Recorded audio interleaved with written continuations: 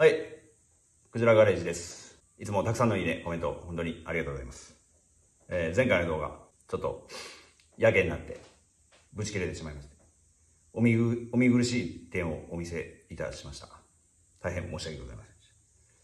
まあね、ちょっと、さすがに、あんだけ、いや、ぶったたいて取れるとね、もう、暑さもあって、もうイライラしてね、やけになってしまいましたけど。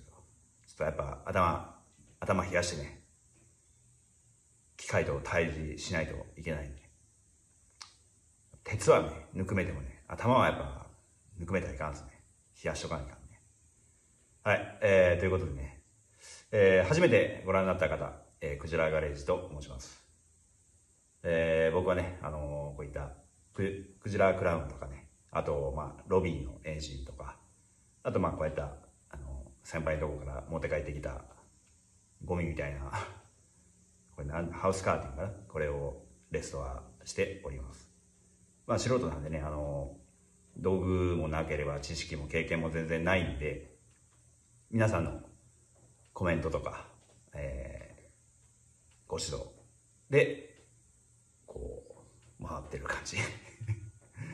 まああの基本的にあのネジ回してばっかりの動画で 退屈かもしれないですけど回らないネジ、サビで固着したネジを素人がどうやって回すのかっていうのを基本的にお届けしております。まあ、エンジン、ロビンのエンジンとかはね、なんとか無事にかかったりとかしてよかったんですけど。さて問題は、この固着してるのか何なのかよくわからないホイール。昨日ぶったたいてあのもう車軸がひん曲がってしまいましたけど、まあ、ぶったたいて、ぬくめたり、冷やしたり、ぶったたいたりして取れんかったやけど、昨日ね、これ買ってきました。ギアプーラー。まあ今までなんで持ってなかったんかっていう話なんやけど。まあずっと前からこれは欲しかったんですよ。これと、もう一個あるじゃないですか。物資を取るやつ。こう、型詰めになって、なんか、パチンってあの、こんな車の足回りとかにはついてるブッシュね。ゴムのやつね。あれを抜くボールジョイントか。ボールジョイントを抜くやつもちょっと欲しいなとはずっと思ってるんやけど、ま、ちょっと買ってなかったんで今回ちょっと初めてギアプーラーっていうのを初めて初めて買いましたなんかね僕のチャンネルねあまりこういう特殊な工具使ってあのー、やるようなスタイルじゃないんやけど基本的にハンマーとかバールでぶったたいて外すのが外すスタイルなんやけどねまあこれあの知らない方まあ知らない人はあまりおらんかなあれかもしれんけど、こうやって挟んでね、ホイールのとこに挟んで、ギア、ギアとかプーリーとかを挟んで、この真ん中のボルトを締め込んでいくことで、ポンと取れるっていうことね。これ今日はちょっと試してみたいと思います。まあもうこれで取れんかったら、もうサンダーでぶった切って、車軸が使えれば、その車軸に合ったタイヤをはめて転がすんだけど、まあそれが最悪なければ、もう足回り全部ちょん切って、その辺売ってるタイヤを、まあ、溶接なりなんなりしてつけるっていう形になるんじゃないかなと思います。まあ取れればね、いいけど。じゃあ早速ちょっとこれ今からやっていきます。果たして取れるのかどうか皆さん想像、予想してみてください。座りが悪いからちょっとちゃんとがっちり固定できるスタイルにしとかないと。これでいいか。何ミリかな？13かな。14ミリ。14ミリのソケットで。まずはここにかけてこれがねここにかかるかどうかっていうのが問題なんよね。これナット締めてた方がいいな。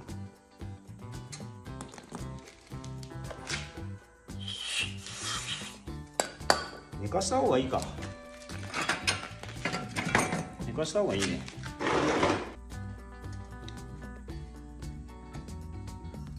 よし。これでこれをここにはめてこの爪がかかるところがねちょっと低い気がするんよね。これが低かったら多分すっぽ抜けるんじゃねえかなって思うんやな。すぐかからんかなからん爪が。そもそも爪がかからんわ。え？かかったか。かかったけどこれちょっと無理っぽいな。爪が抜けそう。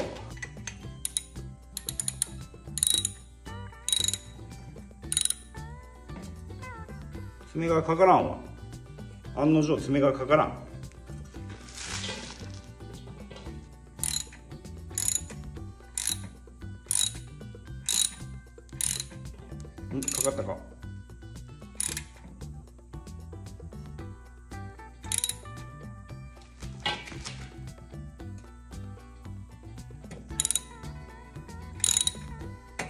あ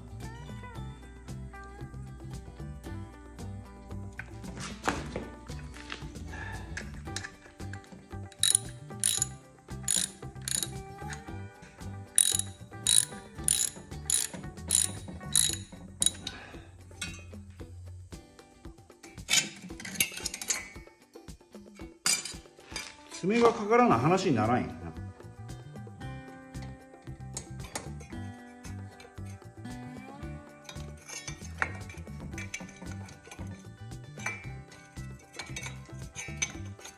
なこんなんじゃ無理やろな。ここにここにかけたいんやけど。削るかこれ。削らんといかんな。ど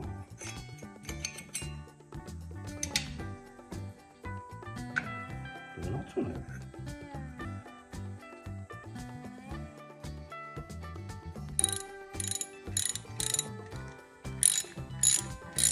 お抜けてきよんな。あ。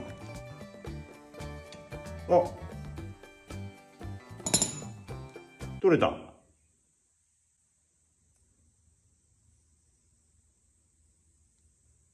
取れたよ。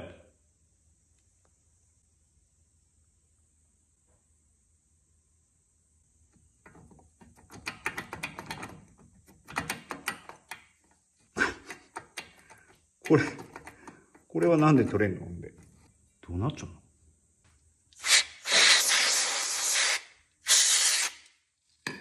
どういうこと？全然わけわからんねんけどあもうベアリングはゴリゴリやな。ここがもうサビサビで動かんちゅうだけやったんやな。やっぱり。でこれどうするの？これも引っ張って抜かないがいかんちゅうことやろ？やっぱ叩けば抜けたんやな。これ抜けるかな？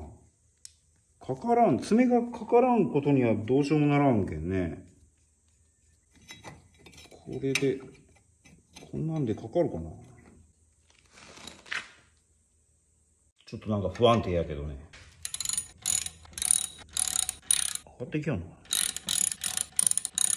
れ鉄板が曲がるよだけやな。これこのホイールなら一緒に上がってくるはず。うまく爪がかかれば。こういうことや。爪がかからん。それがそもそも。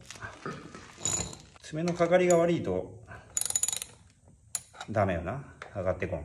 切り込み入れるか。普通このプーラーで抜くんやったらもう少しこの出っ張りをつけんと悪いよな。爪がかからんや。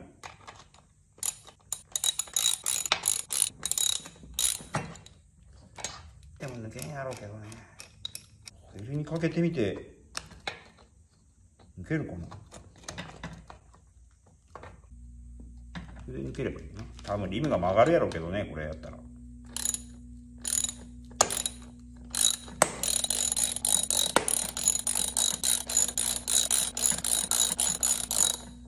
リリムがめくれてきてるだけや。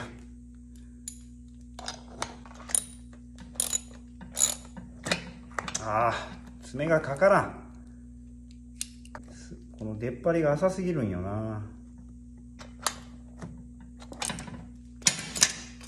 ちょっとここに切り込み入れた切り込み入れてこれが下まで届くかっていうことでね。下下にかかれば届くかな。届かんかもしれんけど。もうちょっと大きいやつなら届くんやわな。届かん。下に届かん。へえ。もうちょっとなんやけどな。こんなんじゃ無理やろな。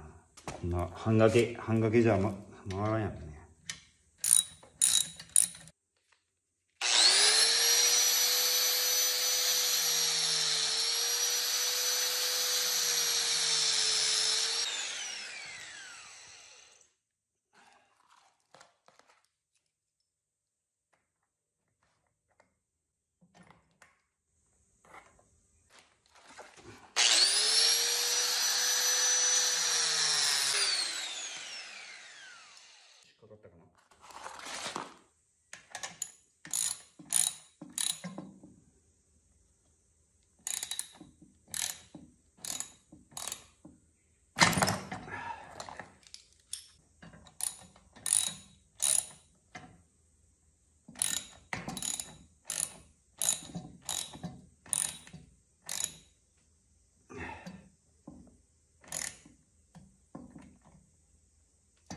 ああ、かからん。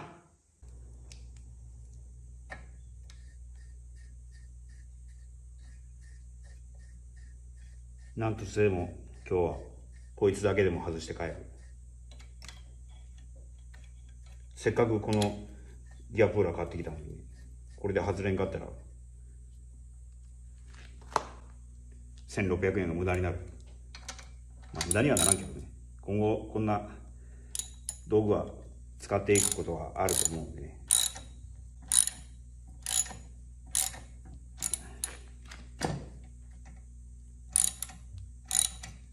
いけそうな気がする。ステーが曲がってきようけど、ステーが勝つか、ホイールが負けるか。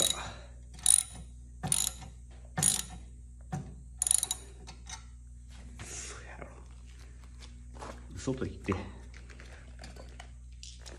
こいつはますか。もうなくなりそう、これが。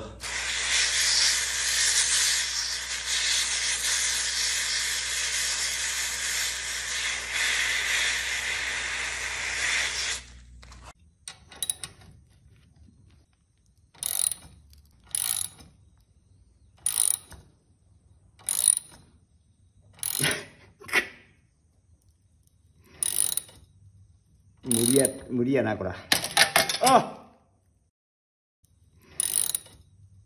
無理や、無理やな、こら。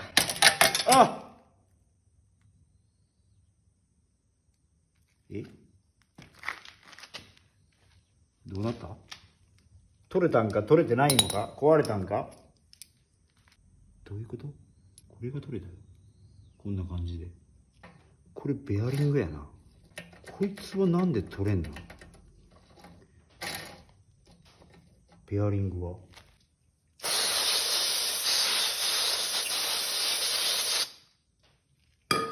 これ。ベアリングが出てこない。ここ。こいつが噛み込んじゃうんだよこれが。本当やったらこれごと抜けてこないかんのやろ？こいつと同じように。ここにもベアリングがあるわね。もうなんか焼けて温めすぎてあのベアリングが溶けたんかなんか知らんけどもう全然効かんけどこいつが取れんとちょっときついよな。爪が届かん。ほら。あと3ミリ。あと2ミリぐらい。もうこれがいっぱいなんやけど。爪がかからんのよねこれでああマジか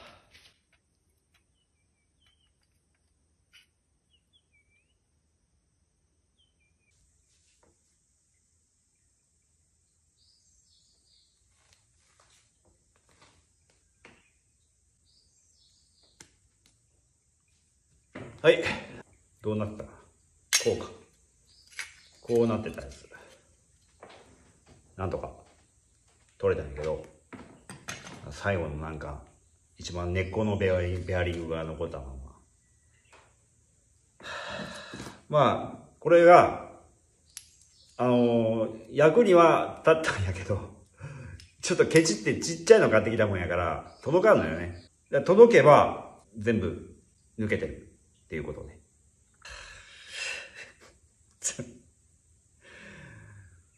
どうしようかね。あと3本、すんなり抜けるとは思えんよね。サンダーでぶち切っちゃろうかね。そういうのが早いな。すんなりスッと抜ければ、これでいくけど、爪がもうそもそもかかりが悪いっていうのはね、もう、なんかおかしいよね、それってね。プーラーで抜かないかんのやったら、抜けるような構造にしとかないかんと思わん。